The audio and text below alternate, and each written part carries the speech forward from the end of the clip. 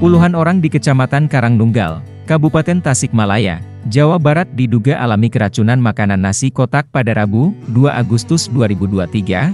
Kapolsek Karangnunggal Polres Tasikmalaya, Kompol Didin Jumardini mengatakan bahwa sebanyak 25 orang telah dirawat di Puskesmas Karangnunggal. Rata-rata, keluhan yang dirasakan pasien, yaitu pusing-pusing atau sakit kepala, mual, muntah, demam, dan diare sampai badan lemas, ungkap Didin seperti dilansir tribunpriangan.com, Kamis, 3 Agustus 2023.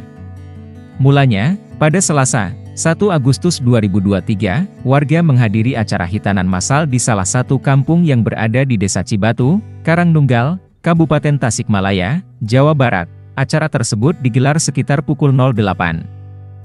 0 WIB sampai pukul 13 WIB, yang dihadiri kurang lebih 150 orang, terdiri dari anak yatim sekitar desa Cibatu dan orang tua, panitia, dan tamu undangan.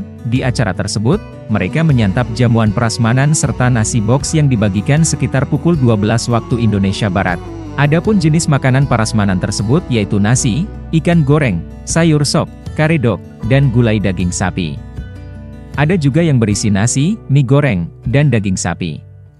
Rata-rata, warga mengikuti prasmanan tersebut mulai pukul 12 WIB sampai pukul 13 WIB, ujar Kompol Didin Jumardini, barulah keluhan pertama kali muncul ke UGD Puskesmas Karangnunggal sekitar pukul 20 sampai keesokan harinya, yakni pada Rabu, 2 Agustus 2023.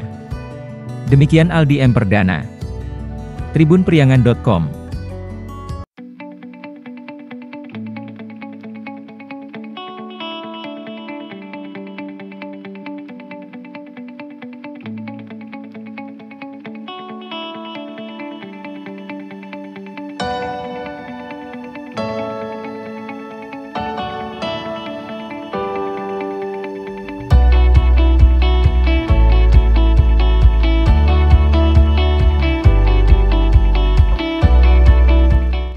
Terima kasih sudah nonton.